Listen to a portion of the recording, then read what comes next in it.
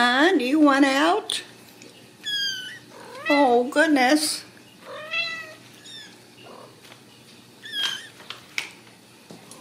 Whoop.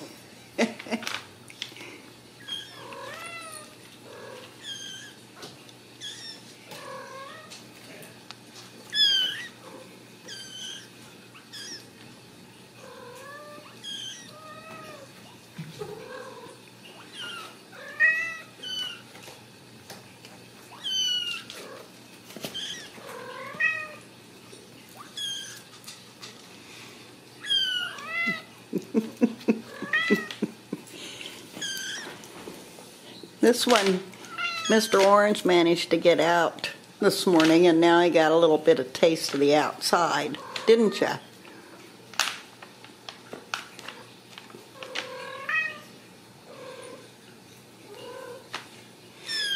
Oh.